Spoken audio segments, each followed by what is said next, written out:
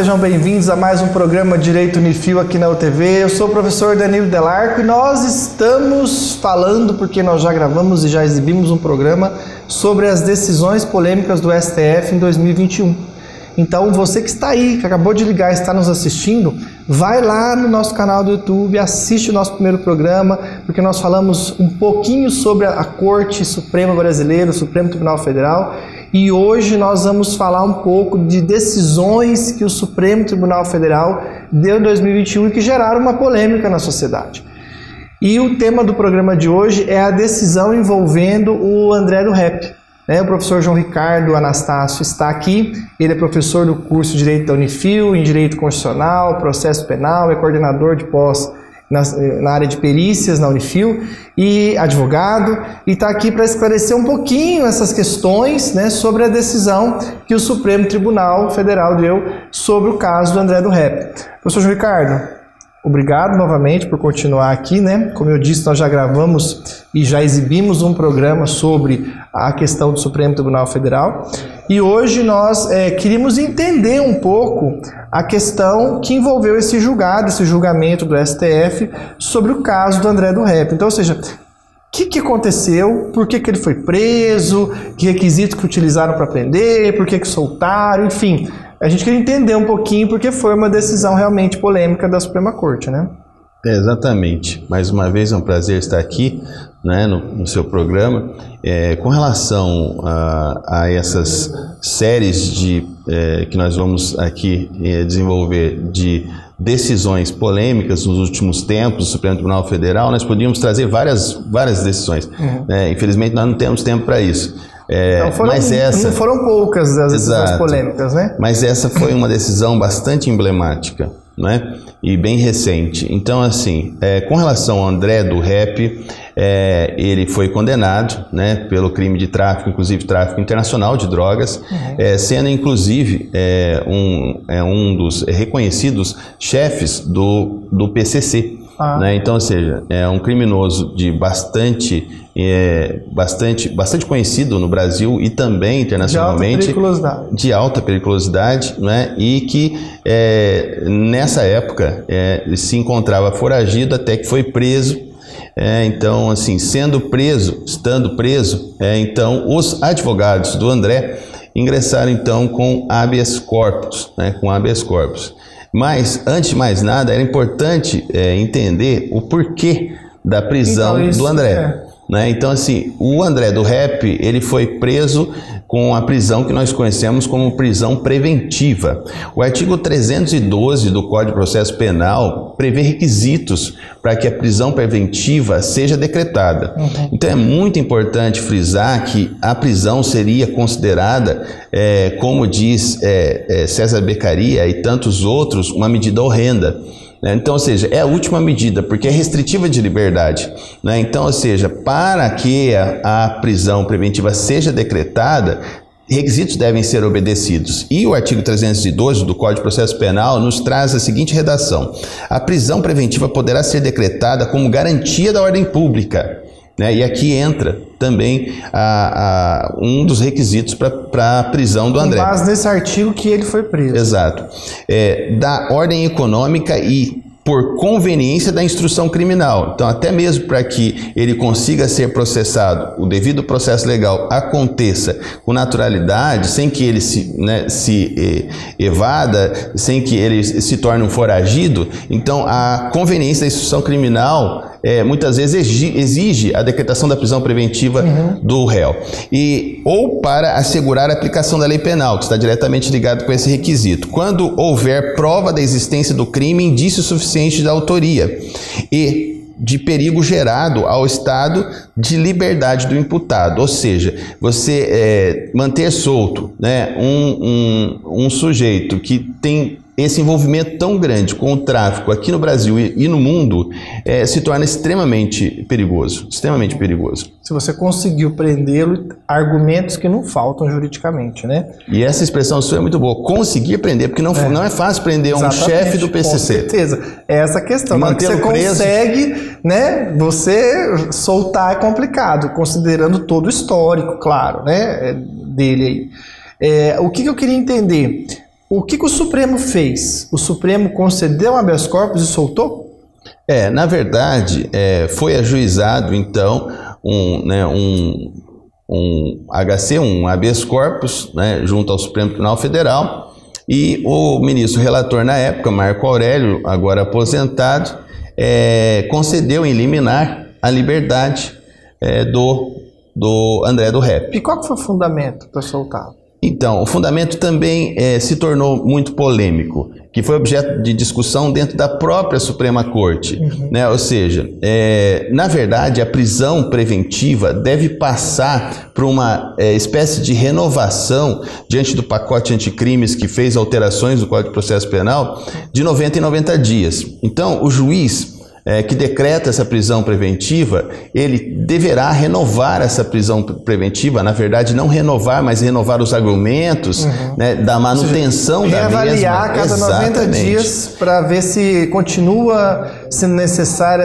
que ele fique preso ou não. Exatamente. Então deve-se renovar né, então, é, esses argumentos para a manutenção da prisão, até para que haja argumentação é, firme é, e que afaste todo qualquer tipo de incidência de liberdade provisória do, do réu nessas condições. Então, é, é, muito importante que o juiz sempre esteja dentro do processo né, da, da, da, das questões envolve, que envolvem a prisão temporária, a prisão preventiva, a prisão provisória dentro do processo, né? Então, no caso do, do Supremo Tribunal Federal, então houve uma decisão, uma concessão de liminar monocrática pelo ministro do Supremo Tribunal Marco Federal, Aurélio. agora aposentado Marco Aurélio, sem ter sido submetido ao pleno. Ah, tá. Então, essa, essas são as questões polêmicas também, né? Sim, um é uma delas. O ministro dá uma canetada em liminar e como se fosse todo poderoso, né? E muda tudo. E talvez questões como essa deveriam ser primeiro levadas ao plenário para que os 11 pudessem decidir sobre essa questão. Né? Justo, porque isso então, gera um mal-estar uhum. social, até porque estamos falando aqui é, de segurança nacional. Estamos falando também é, da questão da ordem pública, que envolve toda a sociedade.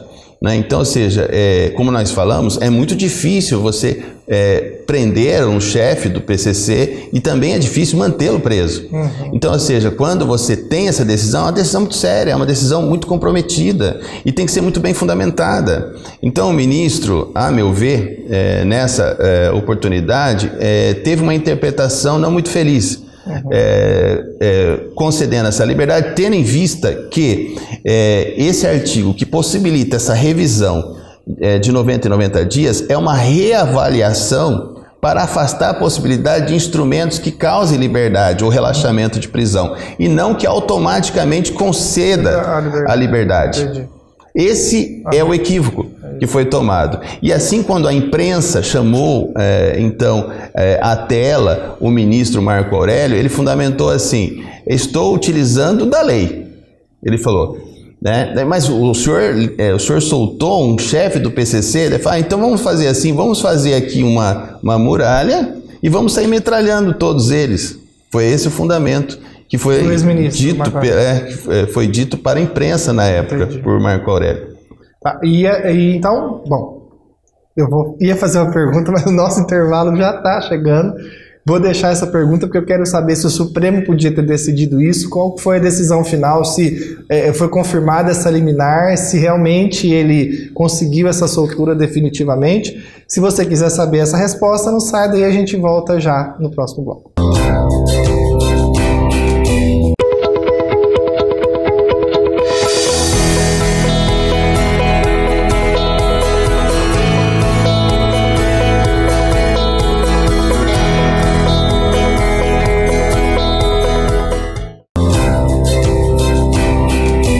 Nós estamos tratando das questões jurídicas que envolveu a decisão é, de prisão e soltura do caso do André do Rep. Quem está aqui esclarecendo essa decisão é o professor João Ricardo Anastácio. Foi uma decisão, o objetivo desse programa é analisar a decisão do Supremo Tribunal Federal e se ela realmente foi uma decisão correta ou não, quais os vícios que poderia, né, seriam apontados nessa decisão. Professor João Ricardo, você explicou então no, no, no primeiro bloco a questão da importância né, de que conseguiram prender um traficante né, e que o, depois chegou um habeas corpus no Supremo Tribunal Federal e o ex-ministro Marco Aurélio, né, então ministro, é, deu uma liminar nesse habeas corpus determinando a soltura e aí você já explicou os argumentos no primeiro bloco. A questão que se coloca é, esse habeas corpus poderia ser ter impetrado no, no, no, Supremo Tribunal Federal, ou seja, está correto esse procedimento é, ou não? O que, que aconteceu ali? Que, qual deveria ser a medida adequada ou o procedimento mais adequado para o caso é, do André do Ré? Sim, nessa, nessa questão, Danilo, agora nós entramos, saímos é, do aspecto material e vamos tratar do aspecto formal, que seria já, procedimental. O aspecto material, no seu ponto de vista ali, já estaria errado. Já estaria errado, porque ah. a fundamentação dos 90 dias não era para imediata soltura. Soltura, era para reavaliar se ele deveria continuar é, preso ou não. Tá. Partindo, inclusive, de maneira é, de ofício pelo juiz uhum. e não com interferência de outro juízo uhum. e também ou então por requerimento. Entendi. Né? Então, e, da parte, né? E o que não aconteceu. Ou seja, ele deveria reavaliar se ele podia ser solto, senão ele deveria se manter preso. A ideia seria essa. Os advogados deveriam pedir a reavaliação. Entendi. E não diretamente entrar com um habeas corpus. Uhum. Então já está errado aí também. Uhum. Então uma série de erros aconteceram em sequência. Entendi. E com relação, o Supremo Tribunal Federal pode sim julgar habeas corpus, uhum. né? É, habeas corpus contra aqueles é, que têm prerrogativa de função, sim, uhum. mas também aqueles que estão sujeitos, é, são decisões que são de tribunais sujeitos ao próprio Supremo Tribunal Federal. Isso é possível. Nesse caso em questão, temos uma série de erros, uma série de equívocos nessa decisão, que foi monocrática. Né? Então, o que acontece? Nessa questão, nós temos também uma lesão a uma súmula do próprio Supremo Tribunal Federal, por quê? Porque esse habeas corpus foi primeiramente impetrado perante o Superior Tribunal de Justiça, o STJ. Então, uma coisa é o STJ, outra coisa é o STF. Foi proposto para o STJ depois da condenação em segunda instância pelo TRF, né? É, salvo engano, da terceira região, é, do André do Rep. Então, quer dizer, é, ele foi preso, o juiz de primeiro grau de uma vara criminal. Condenou, condenou. Os advogados manteve. recorreram para o tribunal regional, porque aí no, no, caso era um juiz federal, era um crime de ordem federal, então o juiz federal prendeu, condenou a prisão, os advogados recorreram para o tribunal regional federal, que seria a corte superior ali ao juiz, o tribunal regional federal manteve a decisão. Exatamente. Manteve a decisão, falou, não, ele tem que ficar preso, realmente o crime cometeu e tal. E, e aí foi eles condenado entraram, em segunda instância. Foi condenado em segunda instância. Aí eles impetraram habeas corpus no STJ. No STJ. Para tentar soltá-lo, é, porque ele estava, é, o, o TRF tinha mantido. O STJ através do ministro, uma decisão do próprio ministro relator, né, monocrática, manteve a decisão do juiz e do TRF. Exatamente. Ou seja, ele tem que continuar preso, não dá para soltar. E aí, a partir daí que começou a discussão, Sim, a polêmica, né? Porque, na verdade, eu entendo que eh, os próprios advogados do André do Rep deveriam ter pedido a reavaliação uhum. né, da, do, da, da, prisão eh, preventiva do, do André né, nessa questão, a reavaliação, até porque estava sendo eh, objeto aí da lei, né, que nós falamos aqui, uhum. e não de imediata soltura. Mas o habeas corpus, isso é importante falar, é um instrumento que busca a garantia da liberdade de locomoção, liberdade de ir e vir e permanecer, ela pode se dar em qualquer momento com pouquíssimos requisitos. Então, é, no inquérito policial, durante o processo, depois do uhum. processo, na execução penal, qualquer momento. Qualquer momento eles... Mas quando se fala, você falou muito bem, Danilo, que quando se fala em Superior Tribunal de Justiça e Supremo Tribunal Federal, tem que estar previsto na Constituição uhum. essa possibilidade. E havia sim essa previsão. E monocraticamente, o ministro no é, superior, ministro relator desse habeas corpus no Superior Tribunal de Justiça, é, manteve a prisão. E aí, antes mesmo desse, desse, é, desse questionamento, dessa questão ser submetida ao pleno do Superior Tribunal de Justiça, os advogados do André do Rep impetraram um habeas corpus diretamente Nossa. no Supremo Tribunal Federal. O que não poderia Pularam ter sido feito. Pularam. O STJ deu uma decisão liminar, é, confirmou uma decisão né, monocrática, ali foi liminar? Acho que foi Sim, liminar, foi uma né? liminar. E aí eles teriam que recorrer dessa decisão para o Denegou próprio STJ. Exato. Para o colegiado. é, o, o recurso cabível seria o agravo regimental que eles devem ter feito e não entrado com HC. Não deveriam ter ido para o STF naquele Sim. momento, teria que ficar dentro Agravado a decisão interlocutória, que seria uhum. a não concessão da liminar. Entendi. Porque o processo estava andando. Então era isso que eles tinham que ter feito, e não ingressado diretamente no Supremo Tribunal Federal com, com um eles, novo eles tinham ter esgotado a decisão do STJ para depois tentar discutir no Supremo Tribunal. Perfeito, exatamente isso, Danilo. Isso não foi feito. Então, existe, eu gostaria de ler aqui, existe uma súmula né, que prevê justamente essa questão, que é a súmula 691 do Supremo Tribunal Federal, é, que diz o seguinte: não compete ao Supremo Tribunal Federal conhecer de habeas corpus impetrado contra a decisão do relator que, em habeas corpus requerido ao Tribunal Superior, indefere liminar. Ou seja, exatamente o que aconteceu. Está é, falando que o STF não pode, não tem competência para um habeas corpus, para julgar um habeas corpus, de uma decisão de um outro habeas corpus que está lá no STJ e que foi decidido monocraticamente pelo Sim. relator. Ou seja, teria que ter feito ainda mais uma discussão no Superior Tribunal de Justiça, né? E aí depois, se eles quisessem prestar habeas corpus.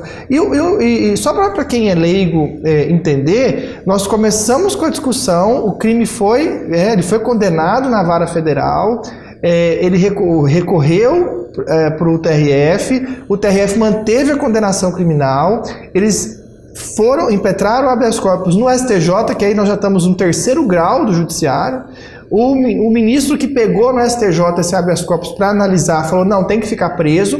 E aí os advogados deveriam então pedir o quê? Que outros ministros analisassem, outros ministros do STJ reavaliassem essa decisão desse relator. E eles não fizeram isso. Eles não esgotaram, eles não foram, não recorreram para que outros ministros do STJ analisassem. Eles já impetraram habeas corpus no Supremo. E o, ex-ministro Marco Aurélio devia ter falado: não tenho competência para esse habeas corpus, vocês não esgotaram a discussão no STJ. Então ele deveria ali liminarmente acabar com isso. 691 é clara. É, de indeferimento de liminar de Tribunal Superior não compete o Supremo Tribunal Federal estar julgando habeas corpus. Já existe um entendimento pacificado no Supremo no que Supremo. o ex-ministro Marco Aurélio não poderia ter julgado esse habeas corpus. No próprio Supremo. Ah. Tanto que se gerou um tamanho mal-estar no Supremo que o, o presidente, ministro-presidente, cancelou, suspendeu a decisão da liminar. Não é isso que eu ia submeteu, chegar agora, que a gente está... É, Qual foi a decisão final do STF? Justo. Submeteu ao pleno e o pleno, por 9 a 1 na época, 9 a 1, é, manteve a prisão. Só que aí já tinha soltado. Professor Danilo, ele já estava solto e mais uma vez foragido. E ninguém conseguiu achar até e hoje. até hoje ele está foragido. Até hoje. Por isso que a sociedade se revolta. É essa a revolta da sociedade. Né? Porque um ministro tomou uma decisão ali equivocada, né? Muito Tanto que os outros corrigiram Tanto a decisão materialmente dele, quanto formalmente. E não deu até, agora o cara tá solto aí, como é que vai prender? Então, assim. E liderando, é, né? É para que o, o objetivo dos, desses programas é que a população entenda que a responsabilidade de um ministro supremo é muito, muito grande. grande. É muito grande. Então, a, a, as críticas é, de juristas e tudo mais, elas têm que ser observadas. Nós temos que elogiar quando devem ser elogiados, mas a gente precisa criticar quando tem que ser criticado. Então, decisões como essa geram uma incerteza, uma insegurança jurídica muito grande, né? porque foi uma decisão que os próprios colegas, nove foram lá e falaram, não, está errado, vamos ter que mudar isso aí. Só que já não era tarde, né? Porque já tinha só, já estava solto e está foragido até. Inclusive o próprio ministro Luiz Roberto Barroso é que citou a súmula no voto dele, uma súmula que não foi observada pelo ministro relator. Professor João, muito obrigado por esse esclarecimento, para que as pessoas possam entender. A gente está ouvindo tanta questão do Supremo aí. E, pessoal, nós vamos continuar com mais dois programas, com mais duas decisões polêmicas do Supremo. Continue nos assistindo. Qualquer coisa, vai no YouTube, assiste o programa anterior. Tá? Não saia daí, continue na nossa audiência. Se for fazer pós-graduação, vem para a Unifil. Nós temos várias áreas do direito, preço que cabe no seu bolso. E fique com a gente. Muito obrigado pela sua audiência. Até mais. Deus te abençoe.